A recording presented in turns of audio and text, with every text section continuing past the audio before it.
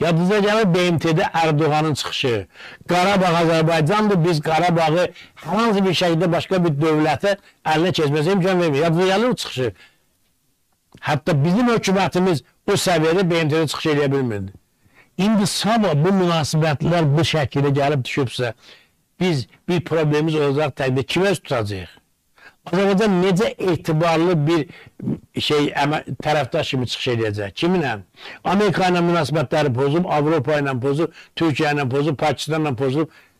Bizim ənənəvi dost və qardaş olan ölkələrlə olan və sınaqdan keçən münasibətlər pozulub və Azərbaycan xalqına uzun illər, yüz illərlə düşmənçilik eləyən, xalqımızın bütün mütərəqqi qüvvələrini məhv eləyən, xalqımızın təbii sərvətlər talib aparan, Azərbaycana yuxarıdan aşağı bax, zorla öz dilini Azərbaycan xalqının ağzına soxan Rusiyanı strateji müttəfiq seçmişik.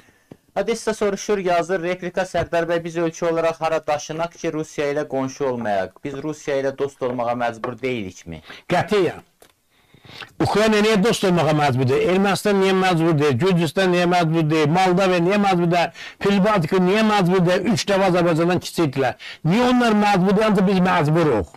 Niyə biz özümüzü məcbur eləyirik? Rusiya ilə bizim et belə normal sərhədimiz yox. Dağıstan Azərbaycan əraziləridir. Niyə biz özümüzü məcbur edirik? Yox, biz mütləq Rusiyanın doduna varlığa qonşuyuq. Filbatika qonşu deyil.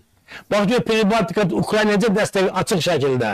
Rusiya necə meydan oxuyur? Estoniya Azərbaycan Naxçıvan boydadır, Rusiyanın torpaq iddiasındadır.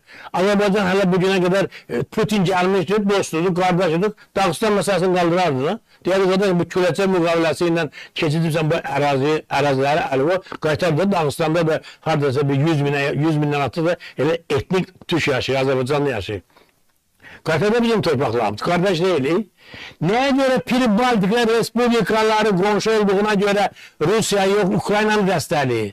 Nəyə görə qonşu olduğuna görə Ukrayna Rusiya ilə müharibə edir özünün müstəqilliyi və suverenini qorumaq. Amma biz Azərbaycan, biz müsəlmanlar, biz bu kölə psixologiyası olan xalq düşünürük ki, qonşuyuqsa qardaş olmalıyıq, qardaş o deməkdir, Rusun dilində təhsil olmalıyıq, Rusun dediyi kimi seçki keçirməliyik, Rusun istədiyi adamları kadr kimi gətirməliyik hakimiyyətə və bugünkü həyatı yaşamağa məcbur olmalıyıq.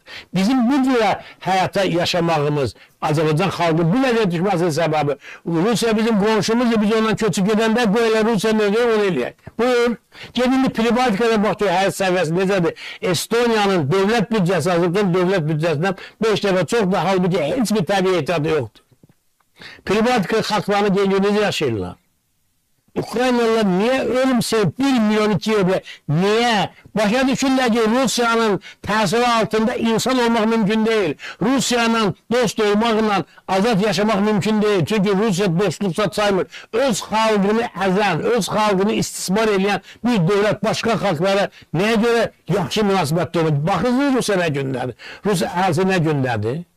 Aydındır Xuraman Paşayev yazır Putin iki qarış boyu ilə bir ağacda oturub min bir ağacı silkələyir. Hörmətli tamaşaçılar. Kardeşim Putin silkelemir. E, bizim içimizde hakime dersliği, bizim içimizde o korrupsiyon marağı, bizim içimizde halkın boğazından tikəsini çıxarmaq bu dağımızı silkelir. Yoksa Pribaltikada kimi azad insanlar olsa, ha, biz Rusya niye deyir de, deyə bilmək ki, sən kimsən mənə edirsən ki, Rus dilində təhsil ki, Pribaltikada Ruslara Rus dilində danışmaq qadağan olur. Azərbaycanda Azərbaycan uşaqlar məcbur edilir Rusça danışırsa. Fərqimiz budur. Azad insanlarla bizim fərqimiz budur. Kölə olan bizim xalqımızla azad olan Pribaltikanın fərqi budur. Ukrayna bu gün qan. Yalnız öz müstəqilliyi və suverenliyi saxlamaqdır. Fərqimiz budur. Moldova yarımız qədərdir Rusiyaya burnuz atır. Fərqimiz budur. Ermənilər azad olmaq istəyir. Rusiyanın təsirindən çıxmaq istəyir. Öz dilini, öz mədəniyyətini inkişaf etdirməsi. Fərqimiz budur. Ona görə Rusiya ilə müharibə eləyir. Ona görə də Rusiyadan uzaq dayanır. Hamı başa düşür ki, özünə hörmət edən adam başa düşür ki, Rusiyanın özü demokratik bir dövlət olmayana qədər, Rusiyada qanun ali bərqərar olmayana qədər heç kim Rusiyadan yaxşı bir şey gözləyə bilməz. Rusiyada Rus xalqının azadlığı istəyən adamları dəlxanaya salırlar, həbsxanalarda öldürürlər, nə bilim, siyasi terror eləyirlər.